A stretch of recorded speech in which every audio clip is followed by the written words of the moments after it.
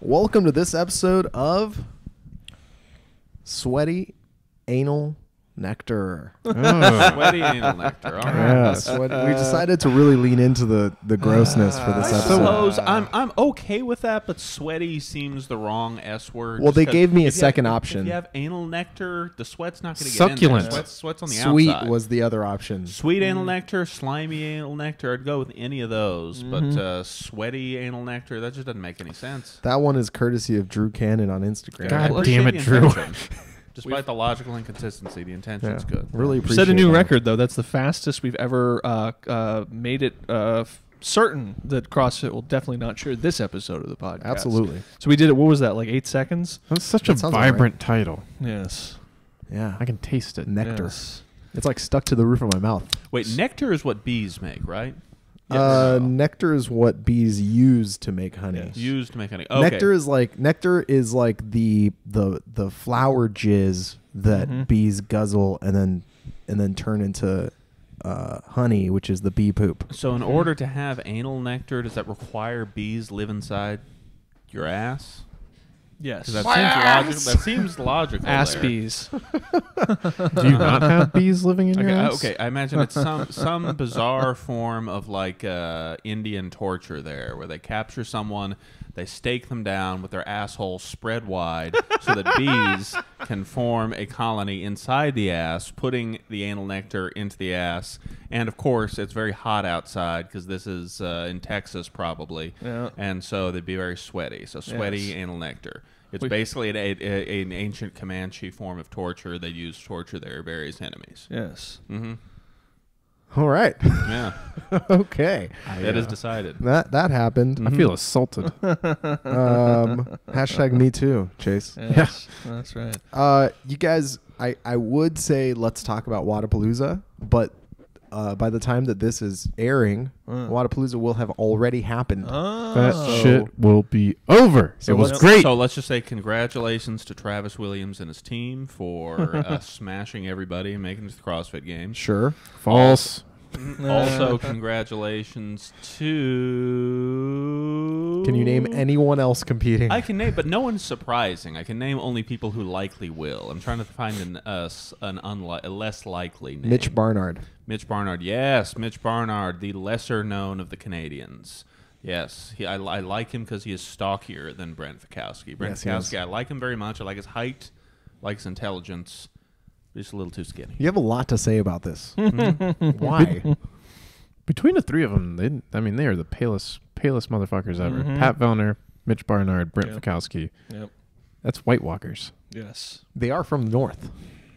I think Maybe I'm we onto should be something. building the wall on the northern border. Speaking of White Walkers, does anyone see the Game of Thrones teaser? Uh, Yeah. Over, Mhm. uh, I guess we all technically must have seen it. Mm. Uh, yep, yep. It almost tricks me into being excited for the final season of the show that has been completely ruined by the last Yeah, couple well, my, seasons. own- my only thoughts on this is that the writing was so bad and so widely recognized as bad in the last season, and they've taken quite a bit of extra time getting this fucker together that perhaps, perhaps there was a little more effort, Mm. as in greater than zero effort, towards making the words good in the thing. I refuse to let you guys ruin Game of Thrones for me this year.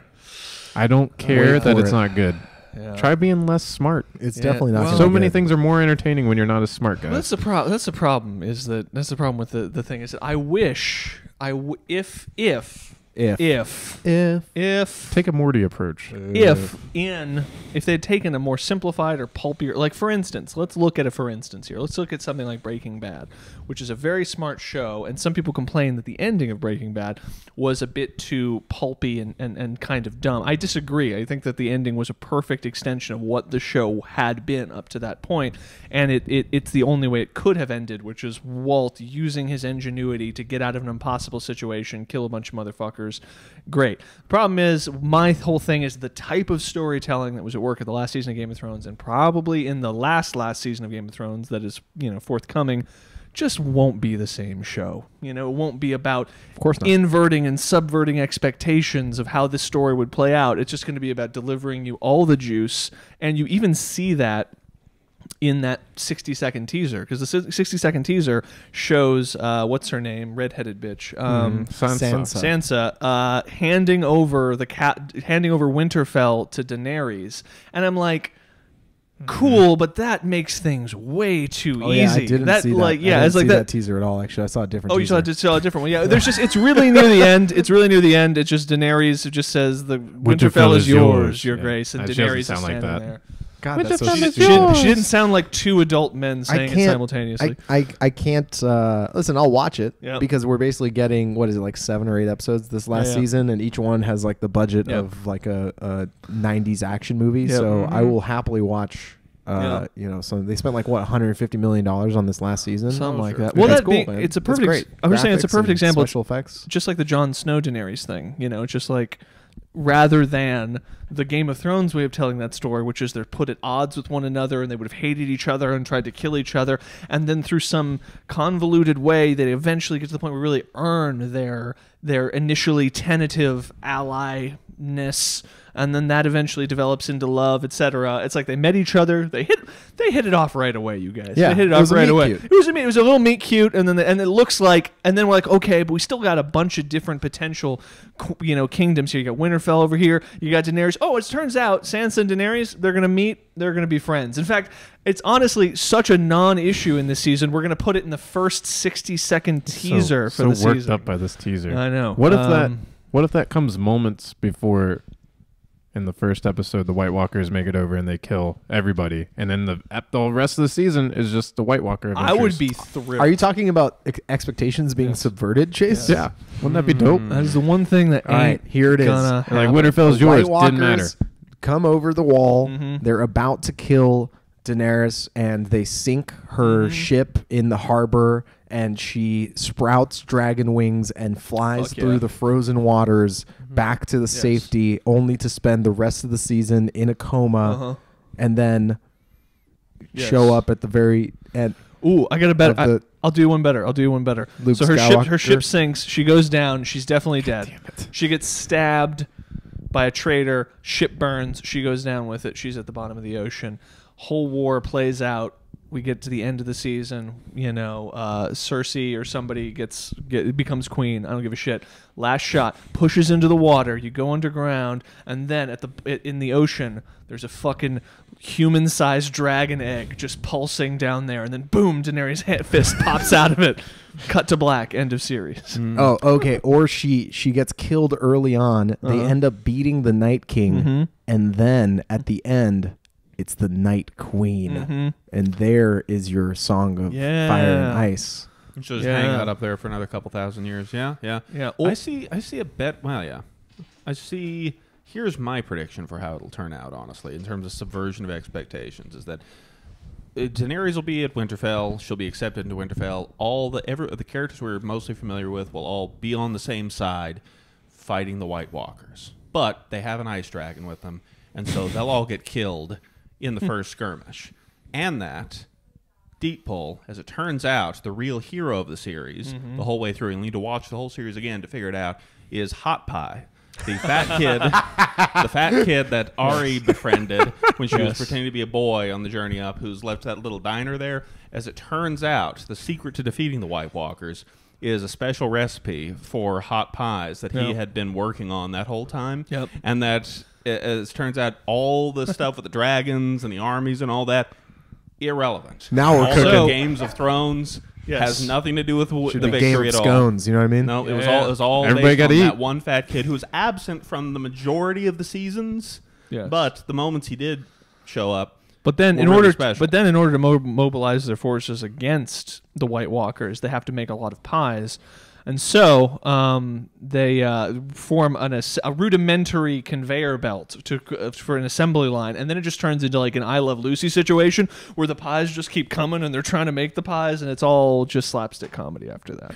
Oh, I got one. I think Jon and the Night King Mm. end up in a one-on-one duel with their Mhm. armies surrounding them and dramatically waiting to see Mhm. which one of them ends up the victor. Mhm. And Jon calls upon the power of being both a Targaryen and a Stark Mm. and summons uh, the sword of Azor Ahai or whatever out of the the spirits of the stars, and then stabs the Night King in the chest, and the Night King says, "You should have been to the head," Oh. and then swipes his hand, and, and everyone turns into a zombie, and that's the end of it, right Yeah, there. yeah. yeah, I like that. Until or until Game of Thrones Oh. end game, end Game of Thrones. so no, I'll do you one better. I'll do you they one could better. probably pull it off. Honestly, I wouldn't. I'd be like, shit. I'm seeing it. No, I can do you one better though. Uh, what we have is a situation where Daenerys comes to Winterfell, uh, Mm-hmm. where she meets um, a Sansa Stark, and then they just uh, and then they then they scissor each other. you saw it coming. but they- I thought I they thought you were going to use a different. Oh yes, I, I I considered it, and then they just then they just mash their vaginas together. It's just that bloodline meets that bloodline. They have to instantly That bone. is the song of Yes, Fire and yes, Ice. that's right. right. Just red and platinum blonde pubic hairs Yes. getting all sticky Yes. and mixed together. Yes. Platinum blonde pubic hairs. It's a full all that treatment. sweaty anal nectar. yes. it's a full dye treatment. Very cool. Uh, Anyway, Thorough. Song of Fire and Ice, right uh, there. so that wasn't the only trailer, by the way, Yep. that came out this Mm. this this entire this weekend. Which, by the way, this entire episode is going to be about media. We're not going to talk about Yeah. CrossFit at all. Uh, But you guys are departing for Wodapalooza tomorrow. yeah, as, as of this recording, Chase and I are leaving for Wodapalooza in less than twelve hours. So God very bless. very early in the morning. so lots of lots should of be asleep now. yes, lots of lots lots of fitness content forthcoming is the point that Yes. I'm going to make. So uh, now we can focus 100% on non-fitness related Yeah. stuff. Hell yeah. Oh, there were three new sanction events announced. Yeah, who cares though? Oh, yeah. You, wait, what? I don't know about this. Yeah, no, of course they haven't been announced yet, like in real time. But by the time this Oh, comes shit, out, so you can will give us the announced. scoop? So you guys were supposed to just play along and be like, "Oh yeah, that's super Oh, cool," and then okay. Well, See, yeah, this is another thing where we got to cl- more clearly establish when we're entering one of these improv games because I'm just reacting as if this is Yes, all new and. info. Yeah, all of these things. I'm like, oh, okay, cool. Uh, yeah, so super secret information that I, that is under embargo that Yeah. I'm sharing with you guys right now against Yeah. the law is that there are three new sanction events, one in Mhm. Ireland and two in Canada. hey, Ireland has Finally, two in Canada. Two. Okay, all both problems solved. large game, both large competitions. Large in gay Canada. Yeah. competitions. Is it like are they bi- uh, bi-coastal in Canada? Yeah, that's one is in Buy Quebec something. and one is in Vancouver. Oh man, one, I know what one of the events, one of the Canadian things it'll be is you know uh, at uh, uh, uh, Curling? at, lu- at lumber yards there when they have Mm. all the cut down trees floating down the river. Yeah. Be running over the top of a bunch of those, trying not to fall down the middle and be trapped and drowned and die. like Insomnia, directed by Christopher Nolan. Never seen it. Yeah. Whatever. Oh shit, I forgot that was in there. Yeah, and there was some action movie from the '80s. I'm aware of some cop thing where yeah, part of the action with the bad guy at the end was yeah running across those, and the bad guy like fell between them, and then they closed, and he got trapped and died. Isn't oh, that cool. the scene in uh-huh. Bloodsport when Jean Claude Van Damme is running away from like Forest Whitaker and he runs across like little boats, or was that a different movie? But there- that, that, that's, That's in that's Bloodsport in, for that's sure. in Bloodsport. Bloodsport, but not the logs, not the Yeah, not- up not in the logs. up in the either Pacific Northwest or Canada, which are just sort of one. Boats are the mm-hmm. Asian equivalent of logs. So mm-hmm. Mm-hmm. All right.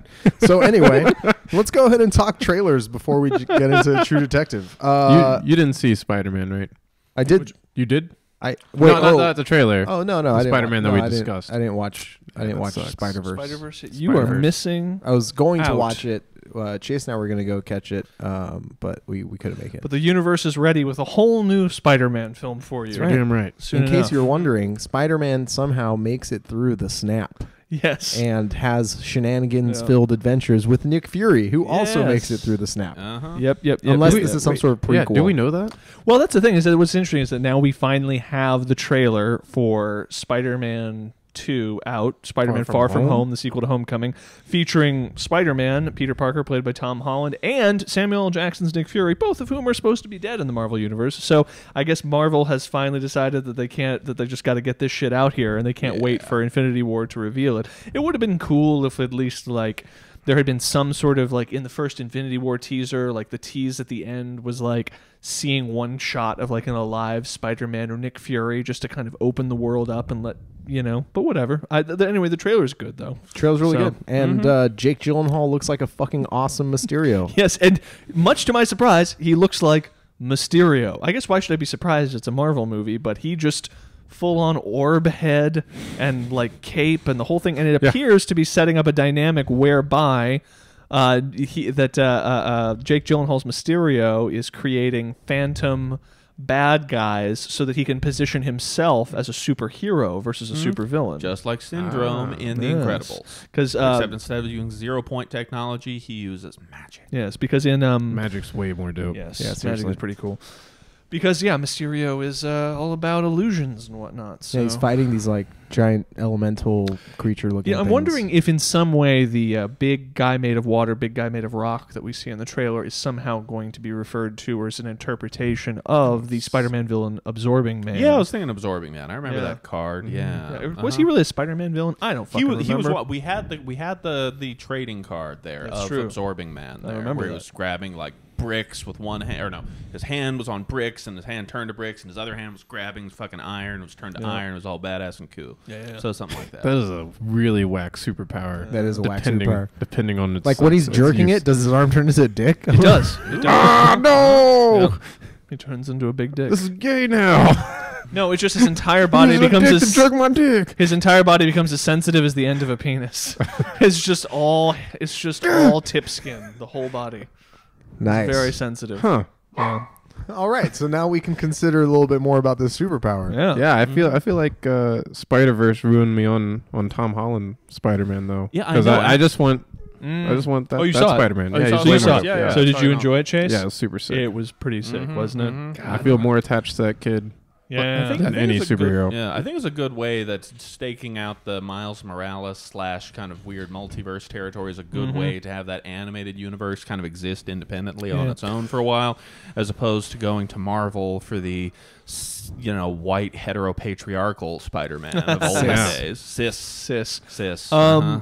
the other thing is that what's kind of interesting is that the because the, the Tom Holland Spider-Man was kind of a hybrid of Peter Parker and Miles Morales because the entire plot in uh, Homecoming where he has like the chubby Asian roommate friend who is his like point man, his like man in the chair The thing. Oracle, yeah, the man in the chair. Yeah, that is from the Miles Morales comic book. So if you even notice, he's in the movie, at least the, Hmm. Oh, the yeah, Miles Morales shit. version. His he has the roommate, and then who at the end he's like, I finally met my in the closing. Anyway, you- finally met not to spoil roommate. anything for Armen, but Oh, he's like, I, I finally met my roommate. Yeah, I forgot that. Yeah, Or he's the- did yeah. I not see that? I maybe never saw the end tag on it's Spider-Man. it's in Homecoming. it's not in the tag. It's in just the it's it's, Yeah, it's at the very end real of the fast. So movie. finally found my new roommate, and the roommate is Miles Morales. No, the, Oh, no, no, no, no. oh, in in Oh. Spider-Man into the Spider-Verse, Yeah. there's himself. he has Oh, a okay. roommate Yeah. who is the Asian kid from the comic books. Right. The Asian kid from the comic Finally books is the meets him, right, same okay. one is the same one who is in the Tom Holland Spider-Man movie, Mm-hmm. portrayed by that kid who is also Asian in that film. Mm-hmm. Um, and so that is a feature of the Miles Morales comic book that they brought into the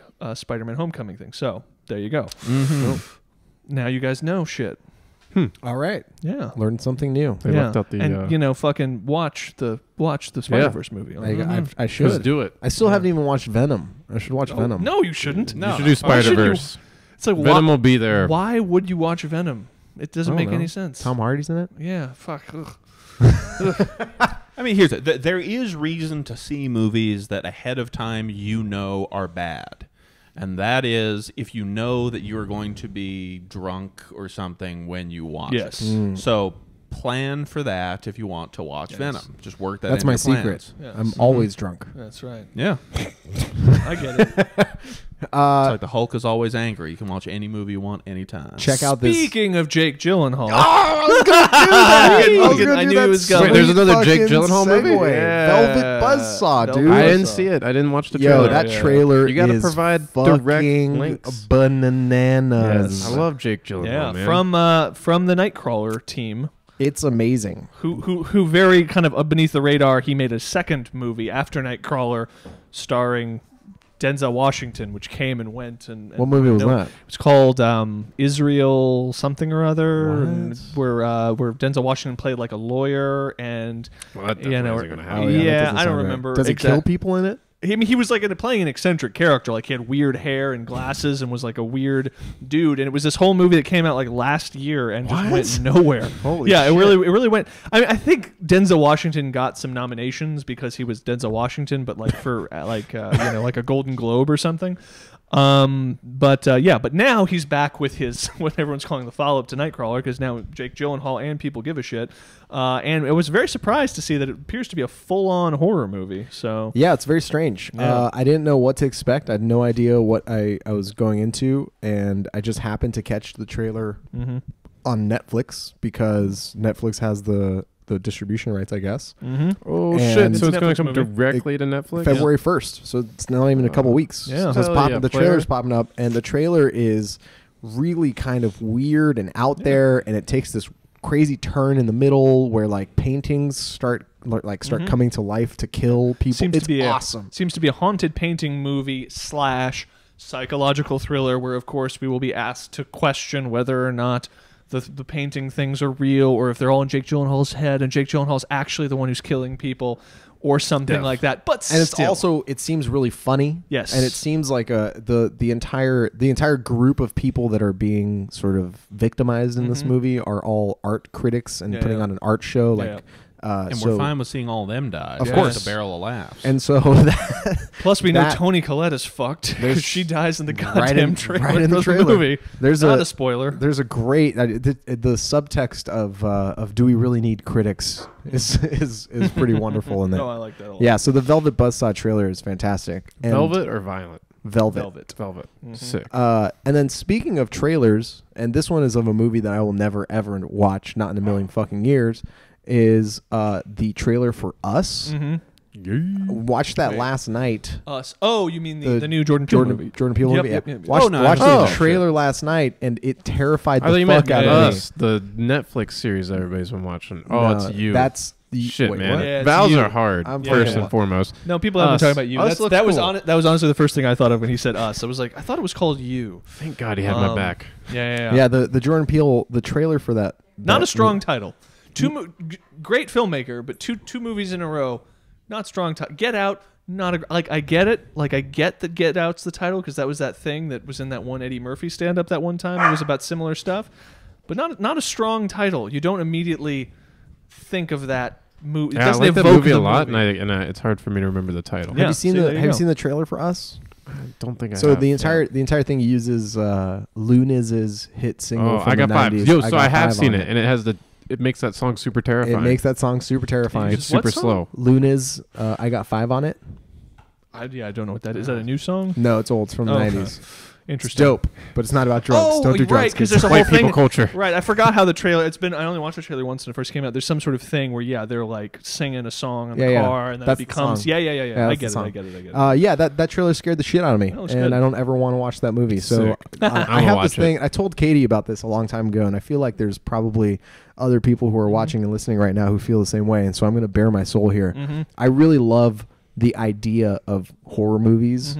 But I don't like watching horror movies. I Mhm. like just just watching the trailer for horror movies Mhm. and getting that like endorphin hit, and then I'll just like read the script and like figure you. out what happens and just like I'll, Fuck I'll you. go Yeah. so Herman, That's fuck my you. just keep that's that to my. yourself. I'm just That's gonna just- Does putting everybody myself- again? Putting myself out there on that one. Mm, I really I know. appreciate. Like for example, Yes. uh, I was browsing Reddit the other day, and someone uh, put up this this video, and it was like this scene is fucking crazy, Mhm. really, really, really horrifying. And I was like, Yeah. I wonder what this is, and it was a scene from Suspiria, Yeah. the new one. Mhm. Uh, uh, it's a scene where some chick is. It seems like she's getting punished or something, but uh, she like gets thrown into like uh, one of the dance studios. That's The like mirror all, room. the mirror the mirror room. room yeah. sequence. Yeah. yeah. Yeah, the mirror room sequence, sure.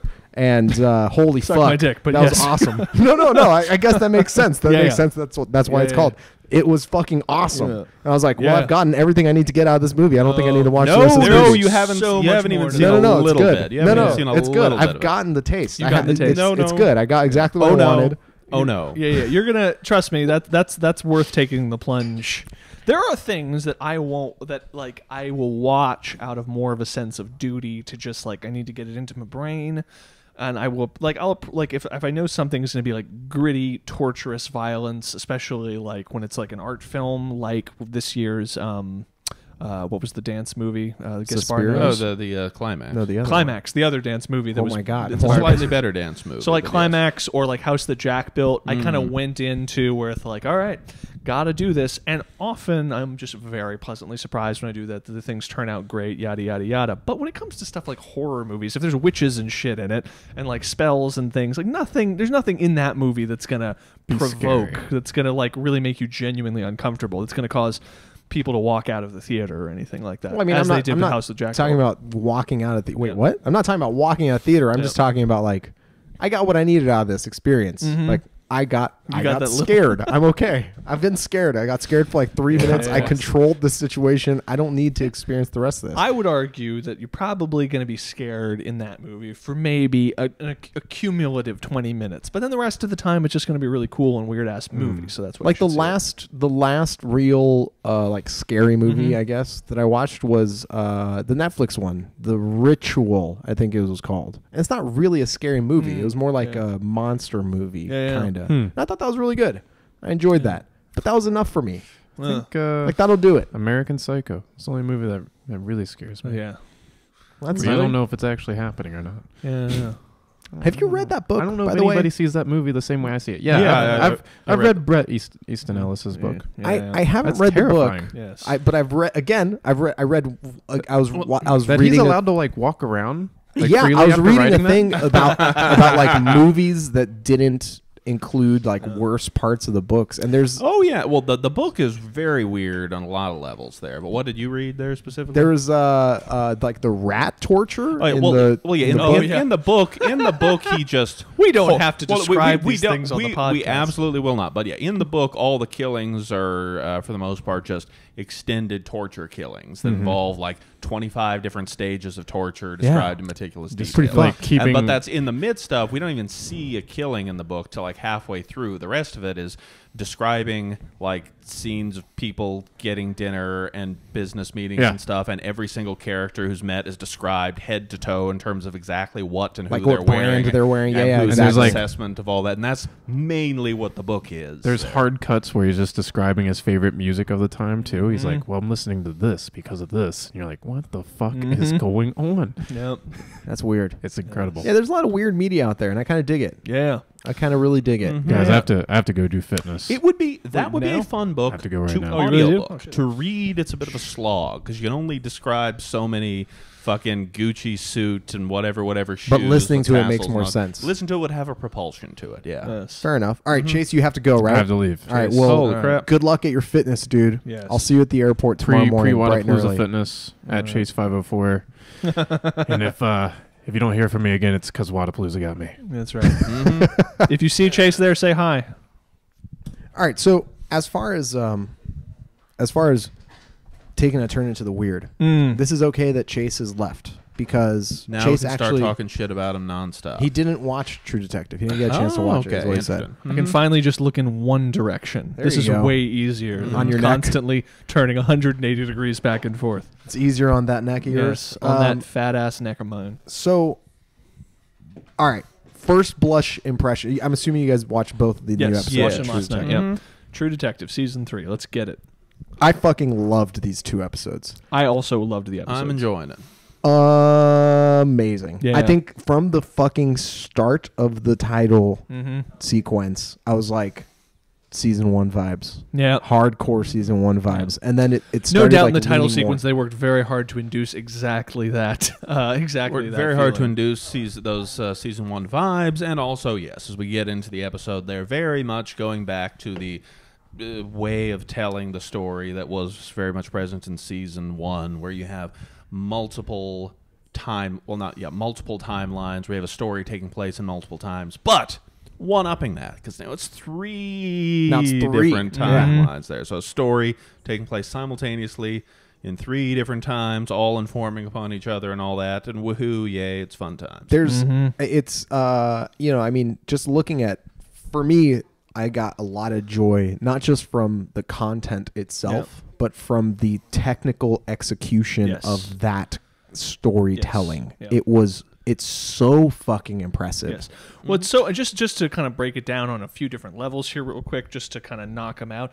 Just not even visually, but just specifically photographically, it was really, really impressive. An impressive movie, and it just one. It like it it kind of utilized. Uh, just some they're always kind of pushing the vanguard on like new expensive fancy ass lenses that can have these incredibly crystal clear uh, uh, uh, focus with these incredibly narrow sh- uh, depth of field effects that are kind of popular like the first episode of um of uh, uh, handmaiden's tale used it effectively i never watched the rest of that series but uh, and it's like you just see that all it was photographically it's just very beautiful. The old age makeup on him is Holy fuck. outrageous Yeah, and yeah, yeah. Mahershala Ali's acting, by the Yes, way, Yes. Oh, he's incredible. He's incredible. Absolutely incredible. And so just just on a technical level, it's just like it's so meticulously executed just on in terms of its textures. You're just sort of like already like, okay, I'm I want this to be good because I want to continue to enjoy watching this. And then beyond that, uh, it automatically starts throwing out the problems that season two had, which is why I checked out, which is it gives me genuinely uh genuinely uh eerie and genuinely intriguing narrative turns in both the first and second episode that both make me want to tune in next week but also make the mind explode with possibilities because that was the wonderful thing and why season one was it got into the whole uncanny horror thing a la hp lovecraft etc is it just explodes your mind and with, with possibilities. I don't know what this show could be and in spoilers here moving on i guess should we just get into spoil yeah Yeah. uh, it's just the territory when they reveal at the end of of the uh, first episode that the one of the two girls who was kidnapped is still boy alive The boy. yeah the boys, sorry the, the, the boys killed. the boy's killed, but the girl is still alive. Oh yeah, it reveals that she's uh, her fingerprint. That she's still alive as an adult, um, and that but no one's seen her for the past ten years or whatever the thing is. Oh Uh, my God, what story could yeah. be behind there? Well, immediately it just immediately it's the type of device that immediately makes your mind explode with possibilities. Like, was she kidnapped? Was she in uh, this? Was she brainwashed? What was the thing? And they've know? also done very much in this uh, a little bit of a Twin Peaks thing, Mm-hmm. just because that's the best reference I have or touch point I have for this. Wherein in the first two episodes, uh, which is a, basically a two-hour movie, and the premiere for uh, Twin Peaks was also a two-hour movie. Yep. They've introduced you know an intriguing dead body. We're all going after cops searching. Uh, good pair of cops we have searching for this uh, the the the the the, uh, the solution to this one mystery and giving us a panoply of about 900 different people who could have killed the kid or kidnapped the kid. They've given all they've thrown everything in the kitchen sink at every possible you know set of suspects everywhere in every crack and crevice of every scene there. The- it What- could be anyone from the parents either of the parents of the kids maybe could be the teenagers who are obviously doing Yeah. yeah the uncle is an obvious one the weird indian guy who probably won't be the killer but maybe who knows uh yes Yeah, there's there's so much depth to it, and and one of the things that I liked about the first season is it felt as if it was well constructed. Yep. Right. It was it was put together from here's the crazy ass Yeah. finale that I know I want to get to, Mhm. and how am I going to how am I going to tell a story that's coherent across these different timelines? And that's how this feels. It feels coherent. Like Yep. season two lacked that coherence. Yep. It, it just felt like you know pieces being thrown against the wall just for the just for the factor of like oh his his balls were shot off and his eyes are out of his head. It's Yeah. like okay, who gives a fuck? Like that never came up again. Yeah, yeah, yeah.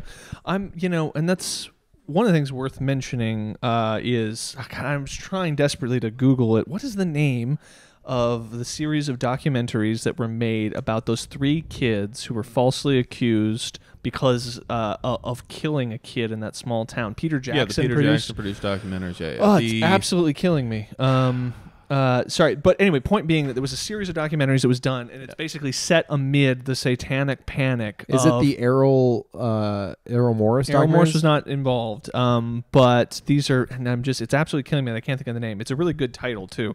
Um, but Peter Jackson, I think, produced the last of them. I think there were four of them. But the basic gist of it was in some small town, some kid is brutally murdered, and this happened in real life. I mean, uh, was brutally murdered in a forest, and then three kids in the town, by virtue of the fact They shall the- not grow old. no, No, that that's a- the new one. That's, That's the, new Peter Jackson produced uh, World War One documentary. Oh, yeah. yeah, I know. I know it's, it's tricky. I'm trying to think of anything to Google. Um. Uh. Anyway, but the point being that it's a famous case just because three kids, by virtue of the fact that they dressed in black and like listened to heavy metal or whatever, uh, Paradise Lost. Paradise Lost. Um, uh, maybe that was the Wait, last one. it's no, not. It's west of. It's uh, west of Memphis.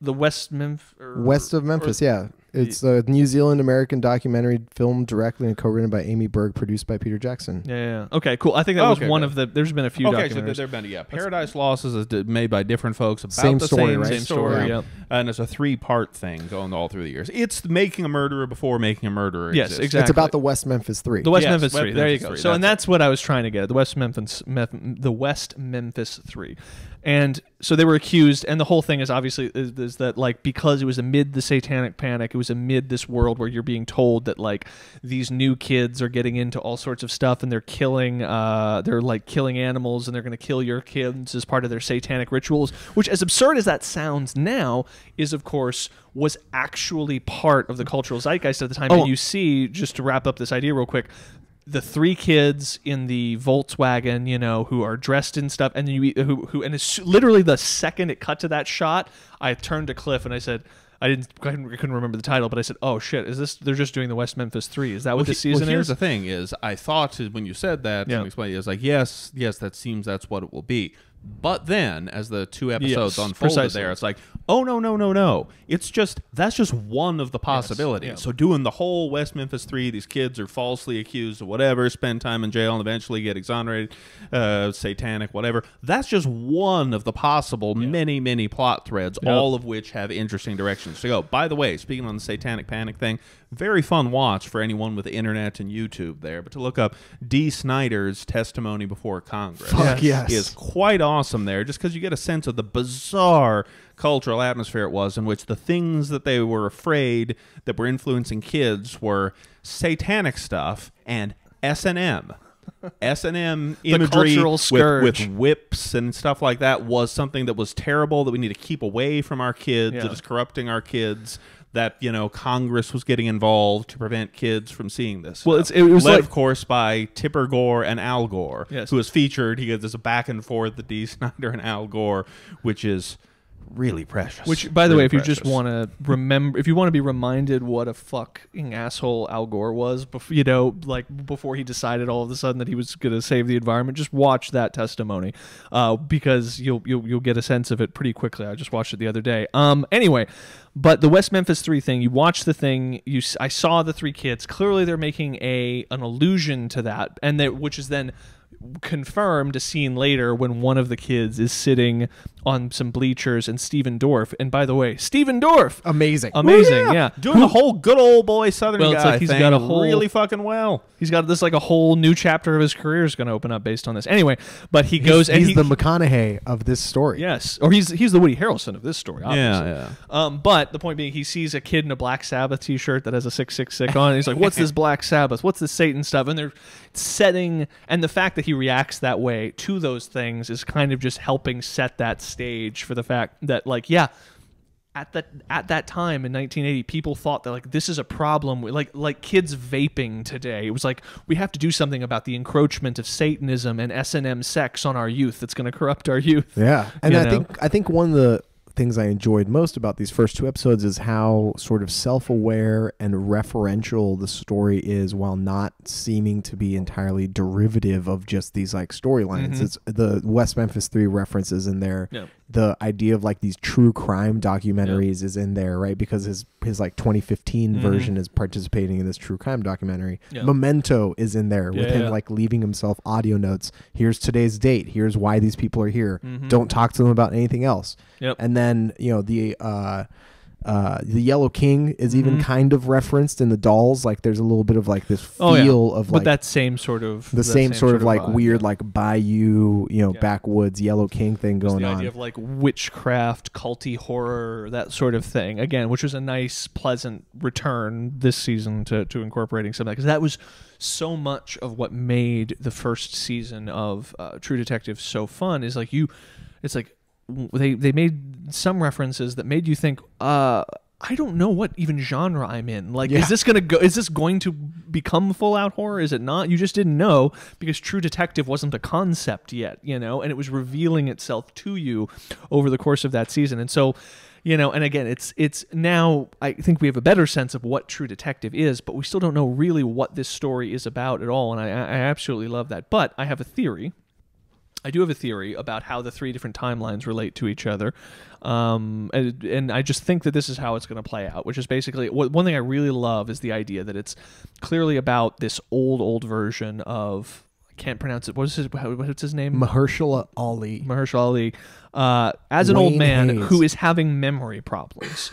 he is having trouble remembering things. And he's basically saying that his interview, which he's conducting as an old man, is helping remind him of things. And they even have these tense scenes with the family. And I love how it's so grounded from his perspective as well. I love that idea that people seem to be just getting irrationally angry with him when he's asking questions and he's confused by this but doesn't understand why, you know, and but it never addresses it. And I think it's just the subjective experience of someone whose memory is failing, who has like forgotten that so and so is doing music in LA Yeah, or whatever. His daughter things- has moved to L.A. Exactly. And, even that during that dinner scene, he asked the same question multiple, multiple times, and you can see his see son getting more and more exasperated exasperated. get up and leaves and you just like you're inside his experience and so what i love is that as we what I really like about it is it gives the intercutting between these three different timelines a diegetic basis, which is a basis in story, which is we are seeing the fragmentary nature of him recalling these memories. He's recalling things that happened in 1990 and then recalling things that happened in 1980 before that, um, and how they all relate to each other and kind of echo through time. And what, so my theory essentially is, and I don't think this is, I think this will probably very quickly, based on the, the how the very last beat of episode two ended, that he in the present day through line in the um, in the uh, the old man version of him is going to finally start putting together something about this case very much like Matthew McConaughey did uh, very, start putting together something about this case that he never put together before. Some unsolved aspect something they got wrong the first time around and but it's going to occur to him by virtue of multiple layers of memories waking back up and revealing to him connections that he didn't realize were there. So his brain will begin to wake back up again he'll start making connections again and somehow all three timelines will come together in some sort of present day resol- final resolution to this issue. Um, and and the other thing is it creates these amazing parallels. Like you have in you know in 1980 in where we are, he's frantically looking for this girl, uh, this this girl who's gone missing. You know, it's a missing child. I've got to find her. Even though we know she's alive, that's still suspenseful because in present day, he's frantically looking they're frantically going to start looking for the same girl. We know she's 10 years older now. We know she's a woman at this point. We don't know why she's gone so he's also frantically looking for the same girl. But the one thing we haven't really ever seen is seen her or heard one word from her. So i think it's I know, it's, it's setting up a really cool solid interpretable awesome narrative dynamic that I can't wait to see play out. Like I can't wait to see this same dynamic applied to the next episode, the next episode, the next episode. I love it. So it was really good.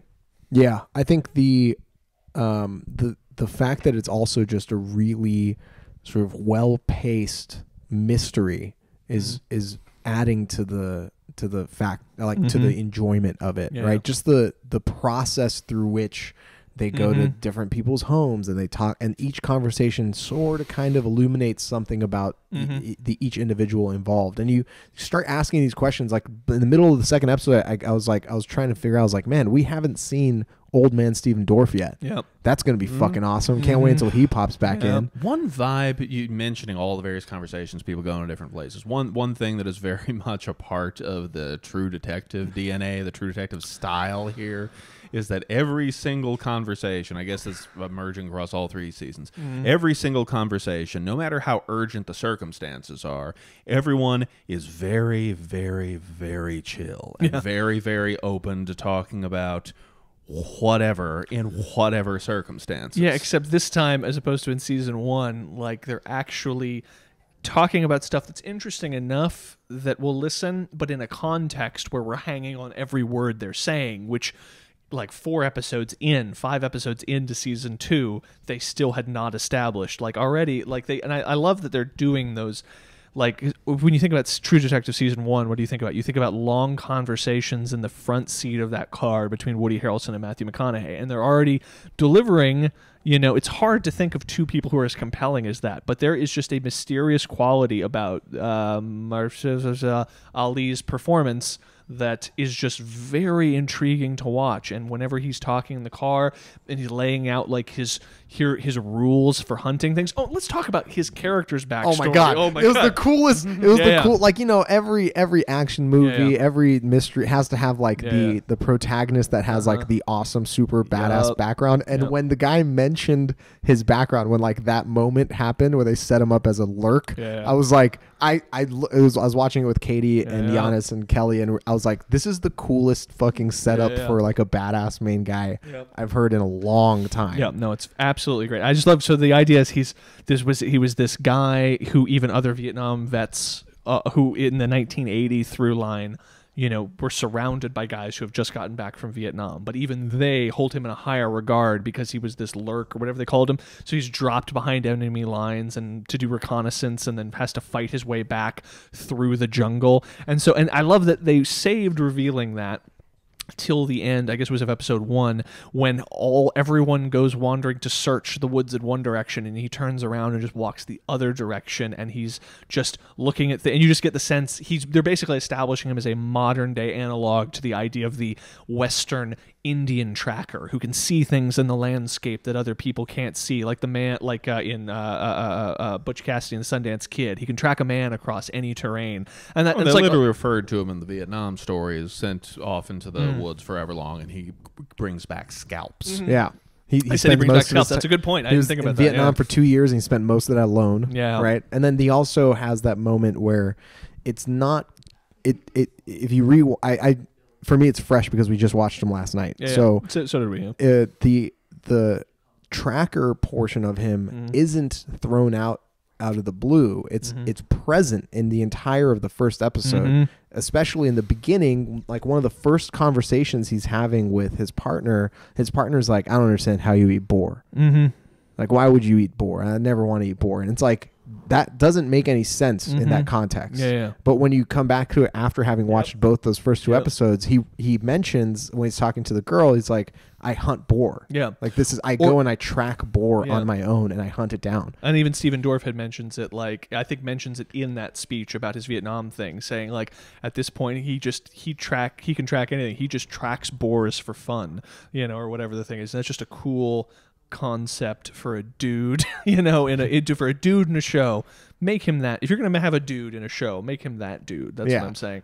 Um, no, but I love that, and it has a really. And again, I just uh, there's another thing I just have to respect about the writing of uh, in episode one and two is it has a great way of really utilizing the multiple timelines dynamic in an interest in a way that draws you in. So it'll tease something in like in in a future dynamic that doesn't seem to be part of the story in the past so that then when that thing arrives it feels doubly satisfying because it makes this connection between the past self and the present self. For instance he starts breaking down crying when his wife is brought up you know and then it's and then it's mentioned that his wife is like this author uh, who uh, who's written this this classic of literary nonfiction um, and uh, and and he starts crying and like that's kind of an odd detail for his life the fact that his wife is some sort of famous author. And then a few scenes later you know they uh, a few scenes later he meets a teacher who's like reading poetry from a book and they kind of have a chemistry.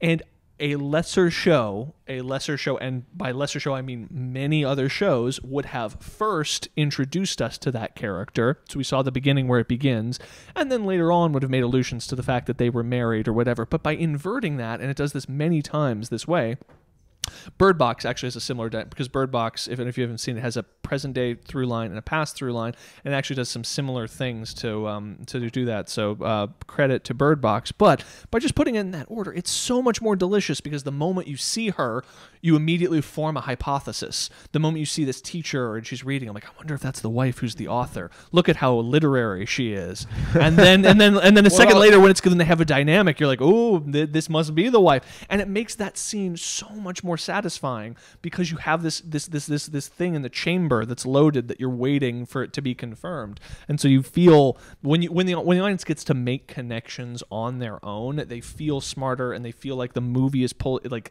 the the movie is richer when they're making those connections and they're not spoon fed to them. And I think that's what's so wonderful about that. Oh yeah, what actually what another very small thing, but uh, on on the level of the having the audience put together things on their own and feel super smart, even though in retrospect it's pretty obvious. Is all the investigation in the kids' rooms there, and finding the mm-hmm. Playboy magazines, Yeah. and then finding this little pinhole there, Yeah. and they see all these things, and then in a later conversation about an uncle that may have visited there, an uncle who stayed, stayed in the uncle stayed on the couch. Yep. Oh no, the son slept on the couch. He stayed in that room. Yep. Detectives exchange a look, and it's like okay, and you understand Yep. the full narrative of all that, never having been told it. It's just seeing a few bits of evidence, hearing some other facts in a conversation, Yep. an exchange of glances. That's it. the the foreshadowing that they're able to do by playing around with the current timeline uh, like the 2015 Mhm. old man version and sort of what you learn of what's hap happening in that timeline i think Mhm. is is really interesting to me because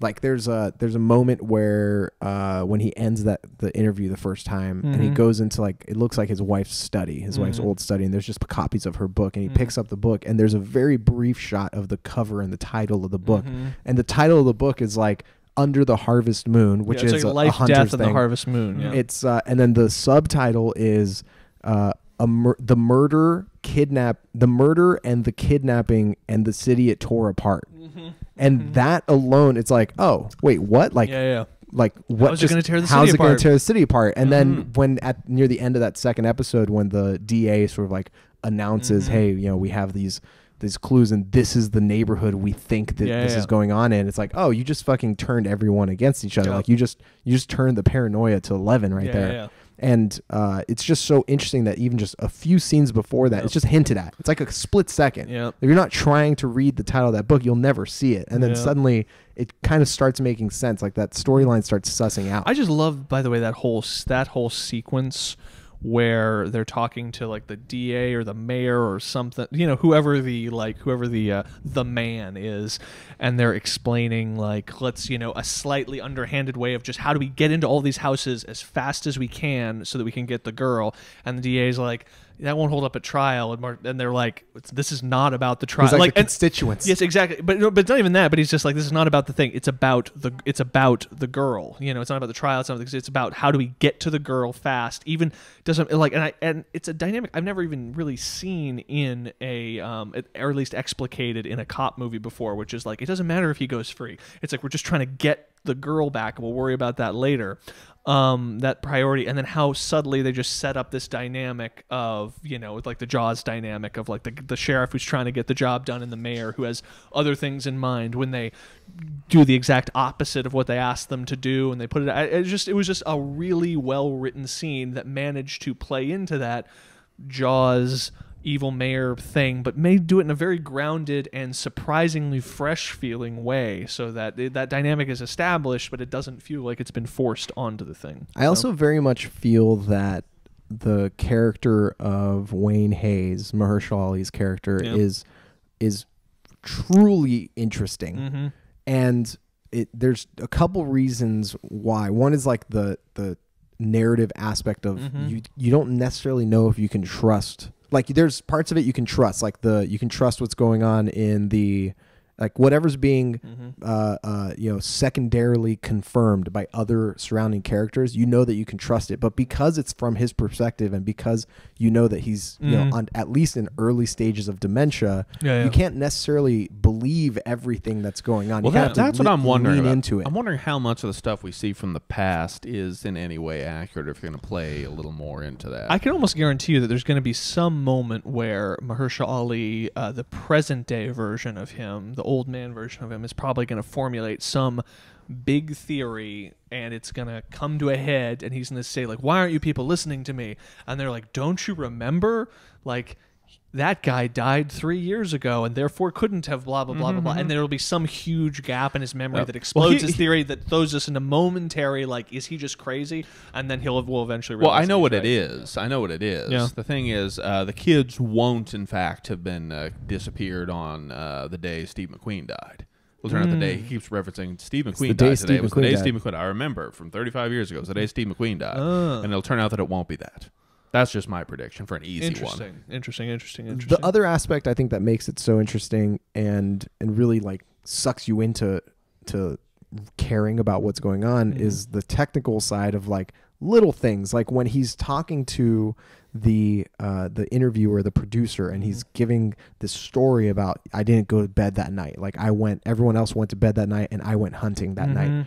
And he's it's showing him in 1980 walking through seeing the bike tracks Yep. seeing the puddle the reflection of the moon Yep. in the puddle and then the moon goes out Yep. and he looks up and he goes do i stop talking do you need Yeah, me yeah, to stop and then it cuts Mhm. back you're like wait i don't understand like Uh, that in that yeah. moment you're like what the fuck just It's like happened we are we are we are not seeing reality. We're seeing past. We're his- seeing exactly. his, his memories of it, including his imaginations of it. So his imaginations of when the kids in the Volkswagen saw the kids in the bikes driving past, that they had ominous looks in their faces. Yep. That's his imagination, and that happens let's- twice. Oh, yeah. The second time was when he's in the I think it's when he's in the house. He's in the the Yeah. Indian guy's house and his partner leaves and he kind of turns to the camera almost and he says, "All right, I'm I'm ready." I'm like, Uh-huh. oh, I'm does, done. Yeah, he does Oh, that he multiple few times. times. Multiple It's times. just- it's just multiple like, times, yeah. it's- Well, I'm, just, I'm just talking about the, even where it's not specifically referenced. I'm talking about like the reality that we're seeing there in those past things is not accurate reality. It's his That's it's his memory. perception of it Yeah. exactly, or it's Yeah. his, it's his recalled memory from 35 years, which we cannot trust. Yeah. Which I think that a pretty easy nugget since you mentioned Steve McQueen died this day, uh, like 900 Mhm. times Yeah. it'll be. Uh, actually, no, Steve McQueen died like you know three months before or something Uh, like that. Interesting. Yeah. So I don't really know exactly where this is going to go, and I like that. Yes. You know, It's nice. I'm okay with the possibility of this sort of mirroring the first Mm. season of True Detective, but my my gut tells me Mhm. that what's going to end up happening is the first half or so of the season is Mhm. going to lead you in the direction of thinking it's going to be Mhm. mirroring like you know going to be some sort of cosmic entity evil Yeah. entity that's being Mhm. served and then about two-thirds of the way through the season it's going to it's going to flip on its head and you're going to realize oh there's something else completely different Yeah. going on here I think there'll be a variation on cosmic entity, quote unquote cosmic entity, but I think the cosmic entity will be entirely mental and entirely subjective, much Yep. as it was in season one. But also here, we're dealing with a reality which isn't real. We're dealing partly with. Uh, there have been many movies where part of the movie or the whole movie is a dream, and you can Yep. have super grand supernatural things that are horrifying pop up in there because it's not real reality, but it reflects true psychological reality, which I think is going to be to factor in an old man with memory fading, recalling, blah blah. Well, blah. the, the other thing, by the way, and this is potentially going to be a thing, um, is I think that a lot of it will. I think a lot of what is maybe comes in the latter parts of the season will involve uh, the revelation that uh, that um, Wayne Hays is that the name of the character. Mhm. Uh, Wayne Hays is not a good guy because, and the reason I say that is he's is is which one's Wayne Hays? the he's main the main guy. character Oh, Um, the Mahershala character- oh, the, the character's name, right? Yeah. right, yeah. Um, I think that in that there's that interesting scene that definitely stands out in this scene because we we like the dynamic of uh, of the cops breaking the rules when they're defying the, the the mayor or whomever or DA who was concerned about his constituency. But it also gives us the other side of that coin, which is them just dragging some guy out of a diner and tying him up in a barn and kicking the shit out of him. And we know for a fact uh, fro- that they reference in the 1990 through line that they got the wrong guy in 1980, and it appears that those the Stephen Dorff and Wayne Hays have no problem beating the shit out of someone and just you know and just telling them that they're gonna you know send him up the river yada yada. They, in fact, I think it ended with them throwing him in the trunk, and we never really got resolution on that thing. Um, and I think it would be an interesting thing if it were slowly revealed uh, as as memories come back, you know, and maybe some guilt comes back that we realize that maybe 1980 uh, Wayne Hays maybe did some very bad things and wanted someone to go down for it, and maybe he's the one who sends one of the satanic kids to prison for 10 years, or maybe he's one of the the ones who does something that colors everything else in a very bad way. And I'm assuming that I, I have a feeling that's coming at some point over the course of the thing because clearly he's very cool, but based on just that one scene where they're just beating the shit out of that guy, he is not a nice man. Well, I'm predicting it's probably the Indian guy who's going to get in prison in 1980, just Mm. because the wife's book, which was written, you know, before later revelations, called Harvest Moon and the whatever. I thought it was the dad. The What? dad? I think it's the dad that gets Oh, wrongfully yeah, convicted. possibly. possibly. Yeah. I mean, I, I guess one of the things that just struck me was what information we're learning from which memories Mhm. and how much we can trust it, Mhm. right? And I think, you know, the, one of the big twists at the end of that first episode is realizing from during the deposition that they found her Mhm. prints, that she's still alive. Yeah, yeah. But that's never referenced in either of the other like even in the even in the 2015 Mhm. timeline they never even talk about the fact that she she was still alive they just talk about the story that's being told Mhm. and that there's still an uh, an open case here that there's still some sort of unsolved mystery and i think it's it's the i mean maybe i'm just being like way too in depth in whatever details there are but there's definitely enough there and there's one of the things i like about it is that you can just sort of look at it and see like all right well i'm just going to discount this entire part of the Mhm. story like who knows what's actually happening here but if we're looking at his perspective Mhm. and it's not being confirmed by any other characters Mhm. it's not being talked about by any, any other characters you can you can almost say well i'm just not going to believe this part of the story Mhm. until it's confirmed Yeah.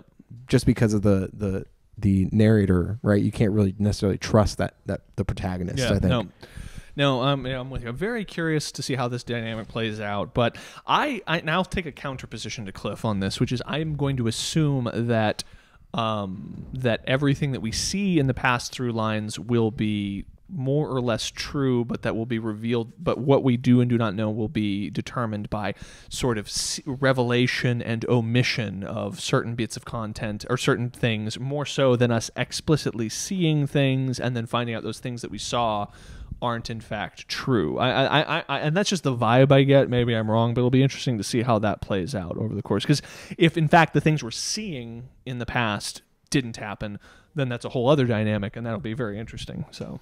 Well, yeah. What I find inter- an interesting way to go with this is just a psychological exploration of the nature of subjective reality mm. and of the Time. faulty nature of memories and time and all that, uh, factoring into the narrative, into how the mystery Yeah, is yeah. ultimately. it's not an one way or accident it's not it's not an accident the poem that she's reading to the class when Oh, he first walks in it's, it's called tell me a story Oh yeah. and she's reading uh, the back half of this poem, which is essentially, um, it's like about.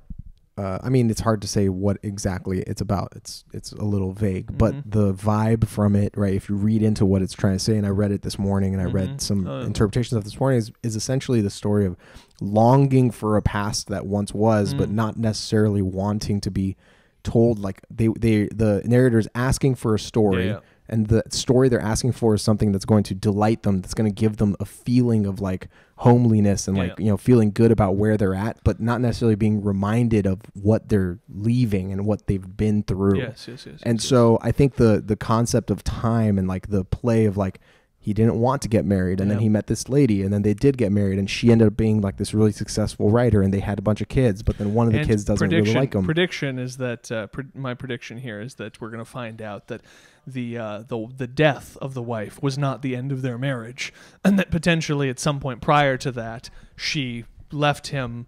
And that she has subsequently died, and he is very sad about that. But we're going to learn that she and that she left him maybe because of revelations about not nice things that he did or something like that. I think that. yeah, the 1990 timeline will the end result will be he'll be you know disgraced yeah. and stuff in some big form or fashion. They reference him leaving the departments and stuff after Yeah. that too. Oh so- yeah, that's right. They said that he left the department Yeah. after those things.